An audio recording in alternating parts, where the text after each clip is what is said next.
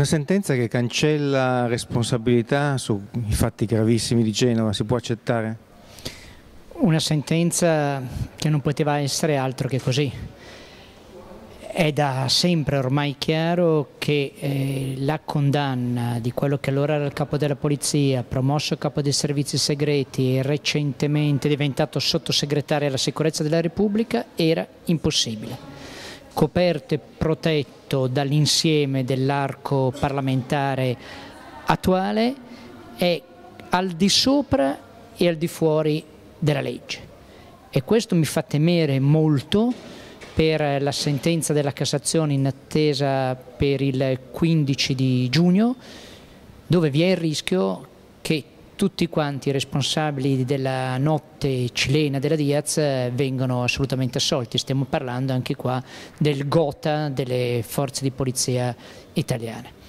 La cosa più sconcertante leggendo le motivazioni della sentenza è che i giudici non entrano nel merito dell'accusa per cui era stato condannato De Gennaro in appello, ossia l'istigazione alla falsa testimonianza del questore Colucci con l'obiettivo di tenersi fuori da qualunque vicenda collegata alla Diaz. La Cassazione non entra nel merito di questo.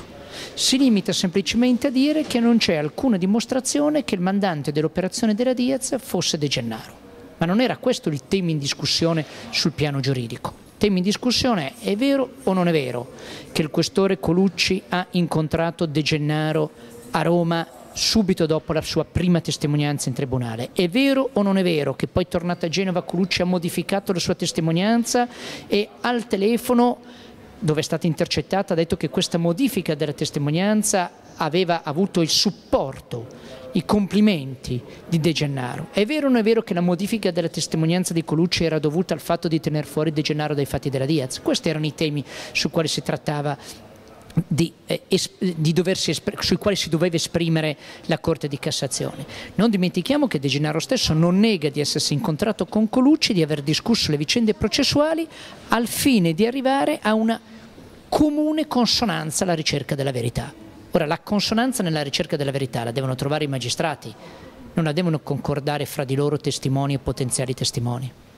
Come su Piazza della Loggia c'è una verità storica e non si può arrivare a una verità giudiziaria? Beh, eh, per quanto riguarda i fatti di Genova in senso lato una verità giudiziaria c'è.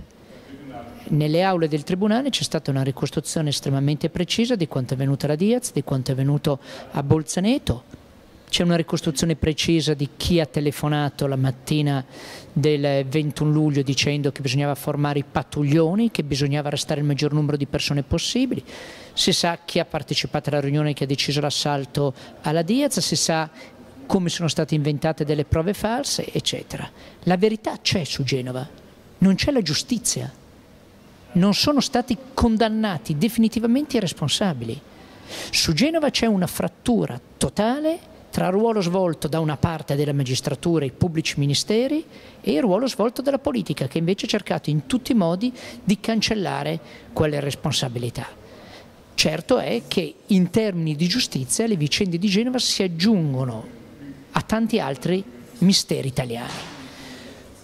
Quando parliamo di Genova, di Genova non parliamo solo del passato, questo è importante saperlo, eh, non parliamo solo di una giustizia che non c'è stata Parliamo de, del fatto che i maggiori responsabili delle violenze poliziesche di Genova oggi sono ai vertici dei servizi segreti, della polizia, sono coloro che tra virgolette dovrebbero tutelare i diritti dei cittadini, i nostri diritti nei prossimi mesi, negli prossimi anni, garantendo le libertà costituzionali. Ora, se l'esempio è quello della notte cilena alla Diaz, credo che ci sia molto da preoccuparsi.